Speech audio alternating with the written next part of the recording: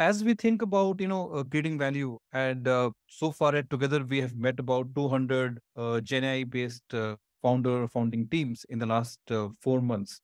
The biggest question that we have that we have been asked is where is the market opportunity? We have teams who have been engaging with us saying, okay, I understand the technology. I'm able to learn Gen AI. Uh, You know, India has uh, six million plus professional developers right now, so it's pretty obvious that people can learn. People are smart. So biggest question we got got around is the market opportunity. So I'm going to start first talking about how to think about the market opportunity in a Gen AI world. So traditionally, when we look at the markets, we looked at market drivers, which use case, how big the market is. So that still stands true. But now we have one more element coming in. So that's how this framework works. So first point in this framework, as you can see on the slide, is you know what we call AI first markets, the markets which were not possible before. These are essentially at a fundamental level the markets where tons of manual work is now getting automated using Gen AI. For example, in healthcare, we have a portfolio company in stealth mode, which is automating the entire RCM space, starting with medical coding uh, and how they're integrating with the workflows. So medical coding is a very cumbersome task. So after a patient visits the hospital, hospital has to sift through hundreds and thousands of medical code to be able to talk to insurance companies and figure out how much will insurance company pay for it. So all that now can move a part of it, a large part of it can be done by Gen. So therefore, there is a value creation happening there. Legal, I'm sure is one of the most popular use cases right now. There are probably now 50 plus startups in legal. But legal workflows in the era before Gen was primarily focused on, you know, workflow of lawyers, but the majority of the work on reading the previous cases, finding the references was manual. Second, contract drafting. I'm sure a lot of you have gone through term sheets, uh, legal contracts in your companies. They're all done manually.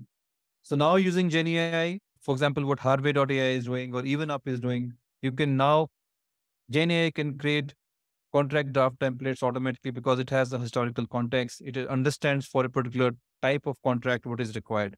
Similarly, all old case laws can be summarized and can be given to the lawyer in a much more faster fashion using interactive user interface, which Girish just talked about in the first half of the presentation. Illustration, the most popular with all of us, right? Previously, we used to look for a designer to find an image, or we'll use Getty or use such sources image that we want to use. But now we have text to image, text to video. They're all a possibility now. And you can build workflows on top of it. Education. As you know, India needs many, many more qualified teachers. And uh, personalized education has shown the promise, but it's very expensive. So now uh, generative AI can come and totally change the world where personalized education can be given to students as a help. You will still need teachers, but AI can make personalization at a mass level. So those are all AI first examples. There are many more which are in the works right now, and I think many more are going to come. The second point on that actually is the existing markets. I think in the past, now India has about 3,500 SaaS companies. All of us looked at either industries or functions, sales and marketing automation, supply chain, uh, risk management, and many such functions. And okay, said let's pick a use case and build a company around that use case. It not it's not a winner takes all market, so I'm able to get some revenue. But now, when you're launching into a market, you have to clearly understand or very carefully study where the opportunity in that function or a particular industry exists. I'll give you an example. All of us are writing APIs now as cloud went into growth and maturity phase. More and more APIs are being written so that softwares can talk to each other.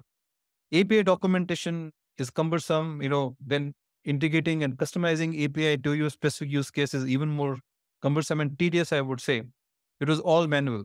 You know, we've invested in a stealth mode company, which is now automating this entire uh, API consumption of documentation and generating API automatically. So that's going to reduce a lot of time. So therefore, you can, it's a niche within the entire integration space, which can be exploited. I'm sure more competition will come, but that's an area where you're able to take one piece and able to compete with existing companies.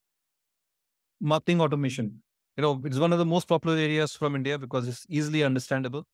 It's now possible to generate personalized coupons and offer to end users and distribute them via conversational interface.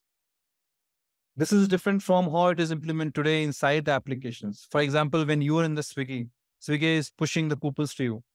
But instead of that, that we have a company called WorkHack, which can now automate based on the user intent and emotions. It can engage the user and can therefore present the opportunity to buy a, a particular product at the time based on the emotions or the intentions. So there are different different use cases, but but a good wedge to get in and start building a marketing automation company on top of it, and then you can expand the use case. Third is you know niche markets that are large enough to grow. So privacy, you know, privacy has been an area which has been very important as cloud grew with more than six billion people on the internet. Privacy and data concern are a topic for governments and the topic for enterprises. But as AI models interact with data, concerns around data privacy and data security are increasing and will continue to increase. You know, we have able to handle to handle the PHI uh, data, the personal data, and you know we have to find a way of how it has to be fed into the model.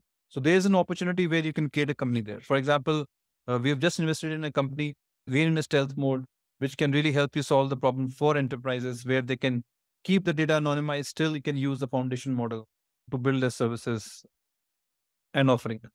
Similarly, another niche area is automating due diligence. You know, a lot of people on the call are startups. They have gone through DD process. It's very cumbersome. There are hundreds of documents, lawyers, uh, uh, financial accountants involved.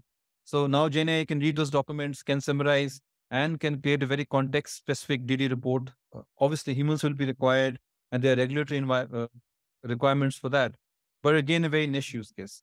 Similarly, there are some really, really boring areas in CF office space, in logistics. Uh, for example, when you are shipping goods, you know, physical movement is required, but entire interaction automation around that from, you know, uh, from a ship to truck to rail to barge to last mile, there are many opportunities there where you can create a niche company and can also grow. And the final one is the, the infrastructure. As you can see, infrastructure, uh, it requires a lot of money, but I think India still has a chance. You know, you saw uh, in Europe, they launched Mistral.ai, which is launching open source foundation model for European markets and for Europe. I think a lot of governments are looking at how to keep the data in their own countries.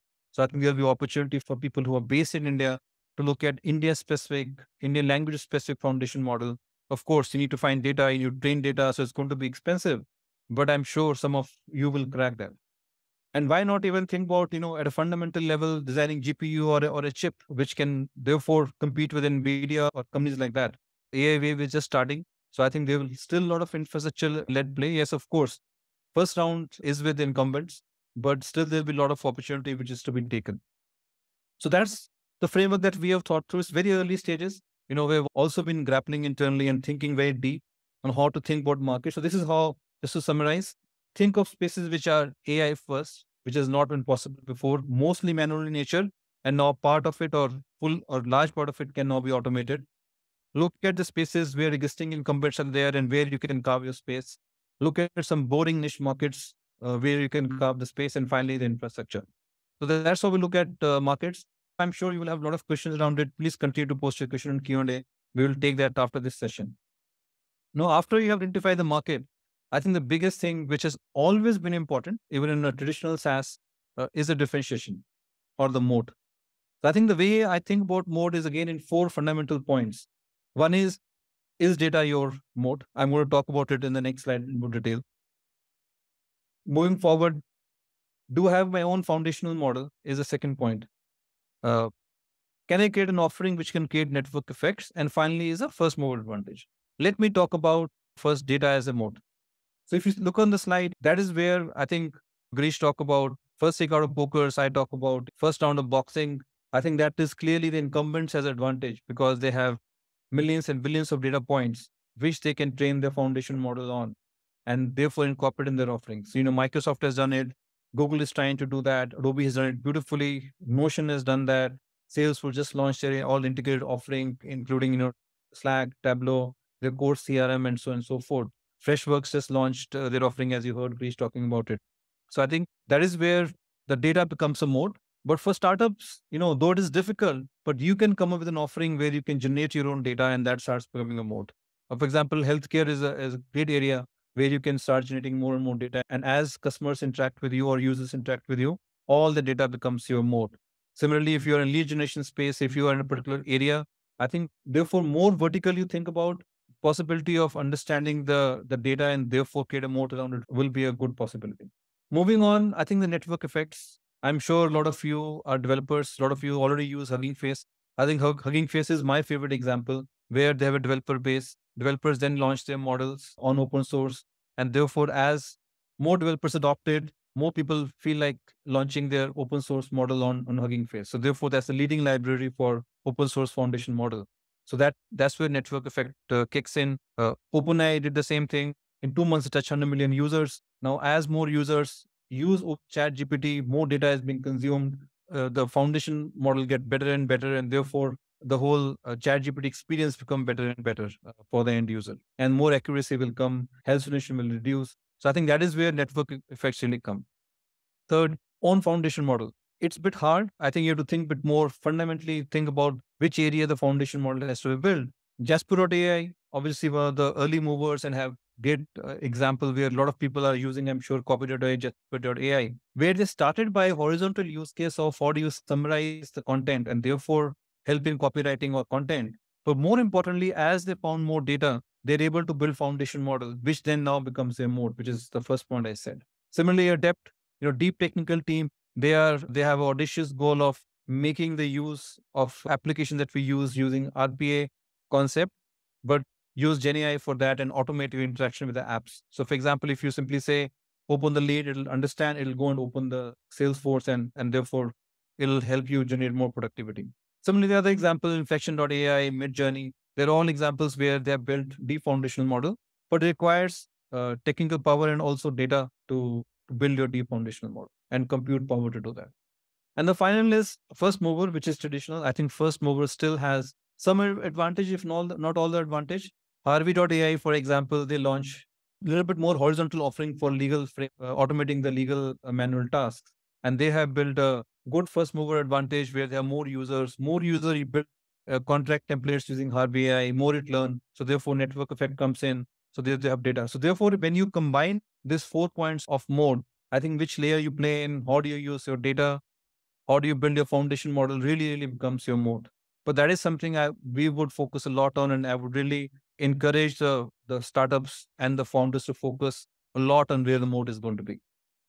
So as you have now thought about market, built your moat, I think uh, the big question is on, on, the team composition. Of course, you know, for every uh, successful startup or a company, the team has to be balanced. There has to be CTO, CEO, somebody who understands product, somebody who understands GTM. But now, therefore, what is different in the Gen AI era? Difference in Gen AI era is that you have to have a founder who have deep or deeper technical expertise, have access to AI, understanding of AI networks. If you're building a foundation model company, you have to have a you know data science engineer, an ML engineer. So I think based on how do you think about your moat, your team composition will change a lot. But having somebody on AI is going to be important uh, as you build your companies. India has 6 million developers. I think a lot of them will learn it very fast and will be available in this area. So team composition also going to make a make huge amount of difference as you build your companies. So therefore, to summarize, you know, a lot of times people ask us the question that, okay, I'm a really good technical engineer. I can really build the product, whichever I focus on. I would love to engage with together on understanding which market should I go after. So this is just a high level understanding of also how we look at the companies. You know, if you're a founder uh, who's just having an idea or just understand technology really well, won't look for an idea, we're happy to engage with you. So look at markets. We do continuous research. Uh, Girish mentioned about modern data stack. We have our own thesis on that, thesis on healthcare and many more areas. We're happy to share that with you and engage with you uh, as you think about building your companies. We're happy to brainstorm with you how in a fast evolving Gen AI world, the moats are changing, new thought processes coming. And of course, if you need help in building the team, looking for a co-founder, we're happy to help you. So these are the areas, that's the context we look at. We're happy to engage with more and more uh, as we all together start taking on Gen AI and build global companies uh, from India. Happy to take uh, a question and answer. I know it's a lot of content to consume.